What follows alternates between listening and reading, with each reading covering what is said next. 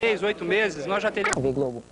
Videográficas, uma exposição inaugurada agora à noite em São Paulo, mostra os resultados... Pessoas que é responsável pela produção das mais belas vinhetas e aberturas de programas da TV Globo.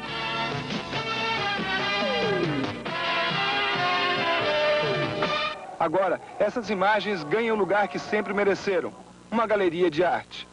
A exposição Videographics, que já rodou algumas das principais capitais do mundo, faz uma retrospectiva de 10 anos de trabalho de Hans Donner e sua equipe na TV Globo. As fotos nas paredes reproduzem o processo de produção das vinhetas e as imagens nos vídeos mostram os resultados finais. Só falta o principal aliado da equipe de Donner, o computador.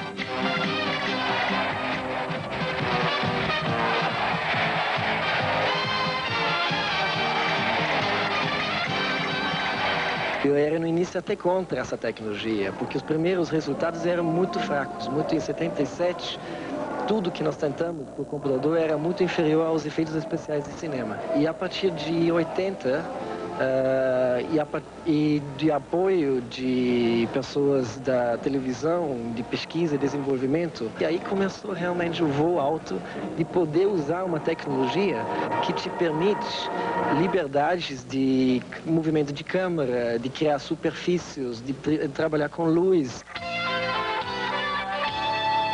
Nem tudo no trabalho de Hans Donner é feito pelo computador aqui nessa parte da exposição. Por exemplo, estão as fotografias da produção e realização de várias aberturas da programação da Rede Globo. Na novela Champagne, por exemplo, aquele piano que vocês viam passando de frente à tela, nada mais era do que uma miniatura movimentada pelo próprio Hans.